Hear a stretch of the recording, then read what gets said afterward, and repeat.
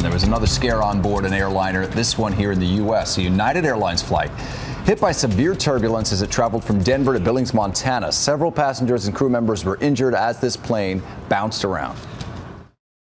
Uh, it, it, started shaking and then it dropped. I don't know how far it dropped. For a lot of people, they were screaming and and having issues, and you know, there's a lot of people that were scared. Another passenger said a baby was thrown from the parent's arms but was okay. The plane did land safely in Billings. Five people taken to the hospital. One is still there in ICU.